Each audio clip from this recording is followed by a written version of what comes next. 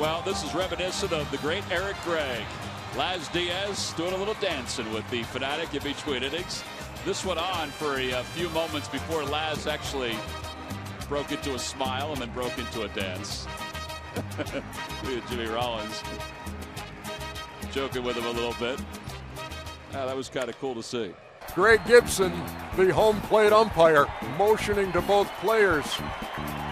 And the Dodgers celebrating in their dugout. That's into the right field corner. Robinson, nice catch for out number one. Well, I am a wizard from the future. Boom. I'm a real doctor. You had your walk-up music created, who would compose it and or sing it, and what kind of music would it be? Uh, you know what? That's a good question.